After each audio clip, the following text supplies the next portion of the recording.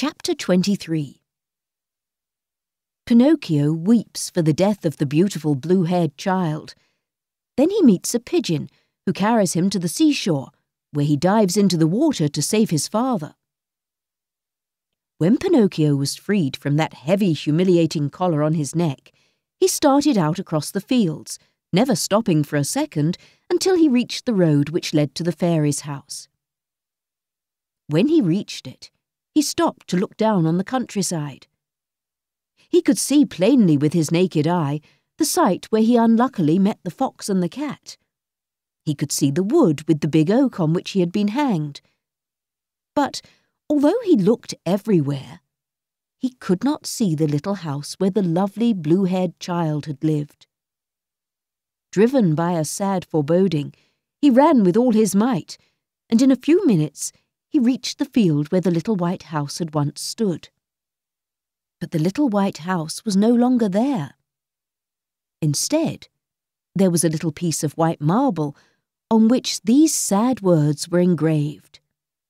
Here lies the blue-haired child who died of sorrow on being deserted by her little brother, Pinocchio. I leave you to imagine the puppet's feelings when he spelt out this inscription. He fell to the ground and, kissing the cold stone a thousand times, burst into a flood of tears.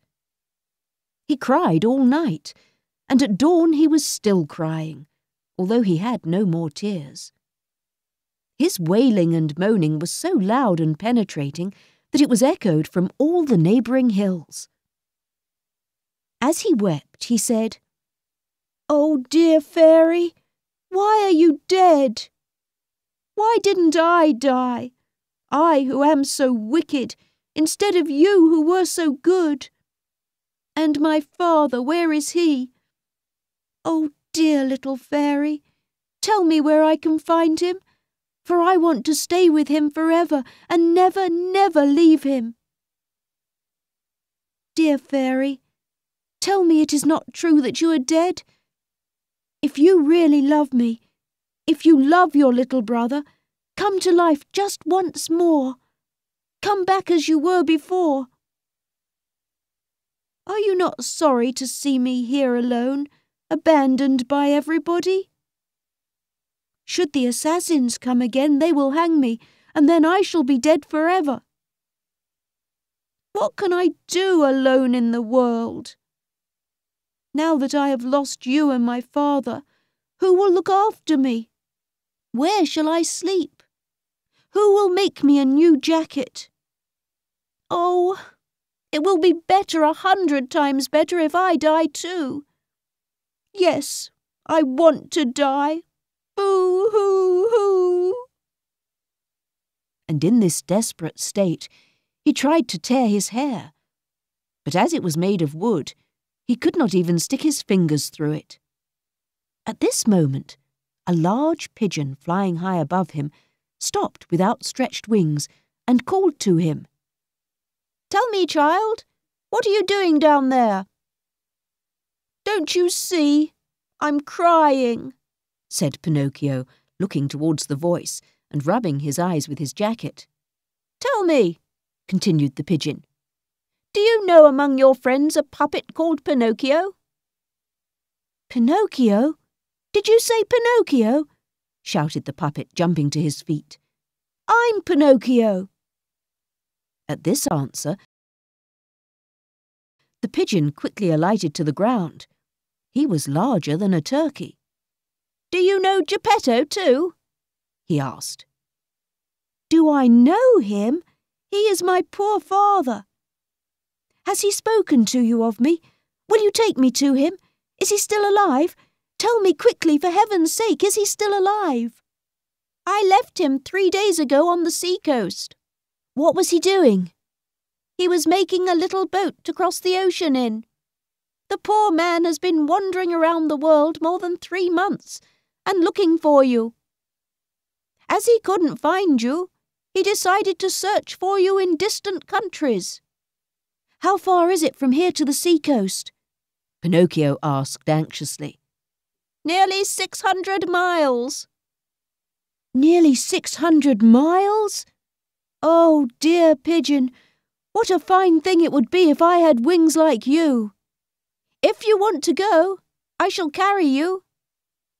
How? Astride on my back. Are you very heavy? Heavy? No, indeed. I'm as light as a feather. Without wasting another word, Pinocchio jumped on the pigeon's back, with a leg on each side of him like a rider on a horse, and shouted gaily, Gallop, gallop, little horse, for I'm in a terrible hurry. The pigeon took flight, and in a few minutes he was so high that they almost touched the clouds.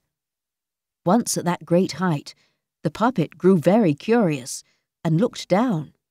But he got so frightened and the sight made him so dizzy that he put his arms tight around the neck of his feathered steed to save himself from falling off. They flew all day. Towards evening, the pigeon said, I am so thirsty. And I am so hungry, said Pinocchio. Let us stop a few minutes at this dovecote. Then we shall continue our flight, and by dawn we shall be at the sea coast. They entered a deserted dovecote, where there was nothing but a basin of water and a basket full of green seed. The puppet had never in his life been able to eat green seed, for, as he said, it turned his stomach. But that evening he could not eat enough of it, and when the basket was empty, he said to the pigeon, I couldn't have believed green seed could taste so good. You will learn, my lad, replied the pigeon, that when you are really hungry and there is nothing else to eat, even green seed becomes delicious. Hunger is the best cook. After having finished this little meal, they did not rest, but continued their journey. The next morning, they arrived at the seashore. The pigeon stopped to let Pinocchio dismount and then quickly flew away. He did not want to be thanked for having done a good deed. The beach was full of people who were shouting and gesticulating as they looked out to the sea. What's happened? Pinocchio asked of an old woman. A poor father has lost his son and he intends crossing the sea in a small boat to search for him. But the waves are so high that the boat will capsize. Where is the boat? Right there where my finger points, said the old woman, pointing to a little boat which, at that distance, looked like a nutshell with a very small man in it. Pinocchio looked closely and uttered a piercing cry, It's my father! It's my father! Meanwhile, the little boat, thrown by the angry waves, once disappeared completely, then reappeared on the top of a wave. Pinocchio, standing on a high rock, called his father by name again and again, signalling with his hands, with his cap, and with his handkerchief. Although Geppetto was very far away, he seemed to recognize his son, for he waved with his cap, and he also made signs as if he would like to return to land. But the sea was so furious that he could not use his oars. Suddenly, there came a huge wave and the little boat disappeared. They waited to see it again. Poor man, said the fishermen who were standing together on the beach. And murmuring a prayer, they turned to go home. Suddenly they heard a desperate shout, and looking back, they saw a boy jumping into the sea from a rock, crying, I will save my father! Pinocchio, being made of wood, floated easily and swam like a fish. They saw him disappear under the water, beaten about by the waves, and then he reappeared. In the distance, now a leg appeared, now an arm. But at last, they lost sight of him altogether. Poor boy, said the fisherman on the beach, and murmuring a prayer, they went home.